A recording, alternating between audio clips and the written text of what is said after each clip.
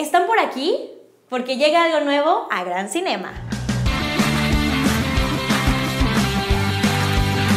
Oigan, ¿ya vieron cómo entrenar a tu dragón 3? ¿Cómo es que ya es la última película de toda la saga? No lo puedo creer.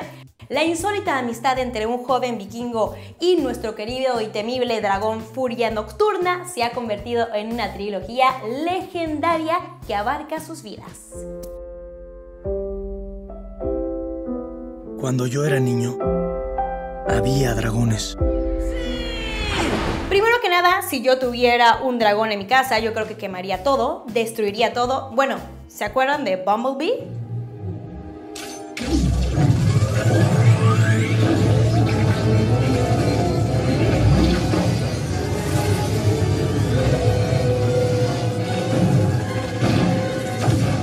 Pero ¿a quién no le gustaría abrazar a alguna de estas criaturas y volar por ahí?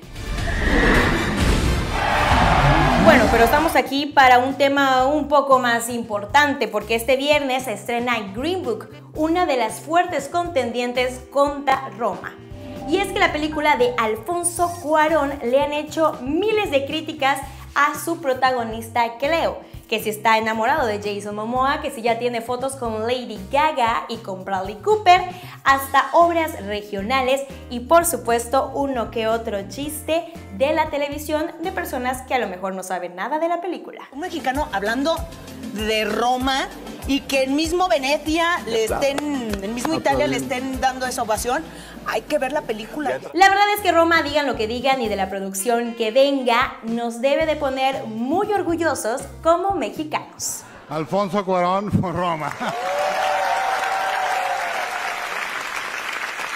Pero claro, como ya les mencionábamos, Estados Unidos viene a competir con Alfonso Cuarón en la película Green Book, basada en los años 40, donde había literalmente hoteles para gente de color, restaurantes para gente de color e incluso baños para gente de color. Una cosa tremenda.